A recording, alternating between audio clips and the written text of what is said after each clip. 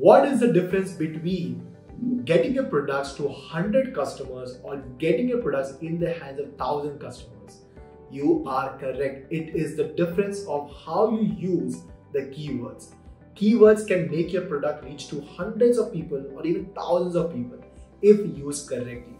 Hi, my name is Viral Jain and in this video I'm going to show you how to find the top most 10 relevant keywords that you can use in your listings to improve your sales and you can use the same keywords to advertise and get more and more traction and get your products on thousands of people's eyeball.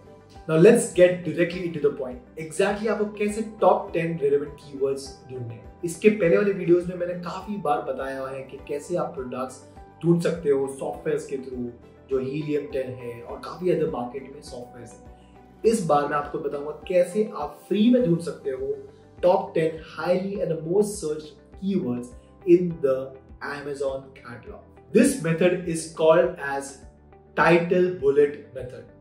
Basically इस method में करना क्या है आपको आपके product का main keyword डालना है Amazon के होम पेज में आप Amazon पे जाओ लेट्स से आप बेच रहे हो फुटबॉल तो आप टाइप करो फुटबॉल और फुटबॉल जब आप टाइप करोगे जैसे प्रोडक्ट आप बेचना चाहते हो, वही टाइप का प्रोडक्ट सेम टाइप का प्रोडक्ट जो भी मेन पेज पे आ रहा है टॉप टेन कॉम्पिटिटर्स उठाने इसकी सेल्स है, काफ़ी अच्छी है।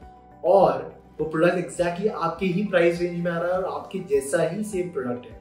उन सारे टॉप टेन कॉम्पिटिटर्स के एसिन नंबर लेने हैं और उसकी कॉपी करके एक वर्ड डॉक्यूमेंट है।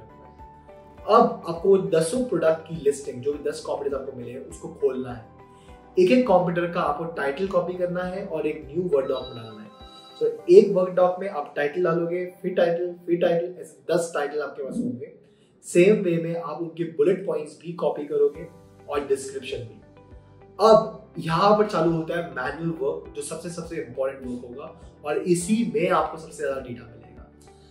अब आपको क्या करना है, जो भी टेन टाइटल्स आपके पास आए हुए हैं, हर टाइटल पे जाके आपको कुछ ना कुछ कीवर्ड आइडेंटिफाई करना है। फॉर एग्ज़ाम्पल अगर कोई टाइटल ऐसा है best football for kids under nine year kids under nine year is a keyword तो बहुत सारे सेलर्स जो बहुत अच्छा सेल्स कर रहे हैं ऑर्गेनिकली उन सारों के कीवर्ड्स उनके टाइटल में ऑलरेडी होते हैं, उनके बुलेट पॉइंट्स ऑलरेडी होते हैं, उनके डिस्क्रिप्शन ऑलरेडी होते हैं। तो आप अगर टॉप टेन कॉम्पिटेंस के bullets description and title copy करके एक वर्ड डॉक्यूमेंट में रहोगे और हर टाइटल को आप ध्यान से चेक करके उसके कीवर्ड्स को हाईलाइट करोगे then, after that process, you will get a lot of keywords. Almost 20 30 40 keywords मिल जाएँगे। वो सारे keywords में से आप टॉप 10 मोस्ट रेलेवेंट कीवर्ड्स होंगे। उससे आपकी लिस्टिंग बना सकते हो और वही 10 कीवर्ड्स आप पीपीसी में या तो एडवर्टीजमेंट भी यूज़ कर सकते हो। अब वो कीवर्ड्स जो आपको मिलेंगे हाउ टू नो के it is the most relevant keyword वो कीवर्ड को कॉपी करो और Amazon पे डाल के टाइप करके देखो कि क्या सर्च रिजल्ट्स आ रहा है। If half of the page is coming the same products जो आप बेच रहे हो then it is the most relevant keyword अगर वो नहीं आ रहा है then it is not the most relevant keyword I hope you must have understood exactly a small and a very simple method to do this task freely to get the 10 most relevant keywords that you can use in your listing and in your title and in your advertisement that will help you get to more and more customers in a very short period of time. So try out this method in your listing or in your products and let me know in the comments if it truly worked for you.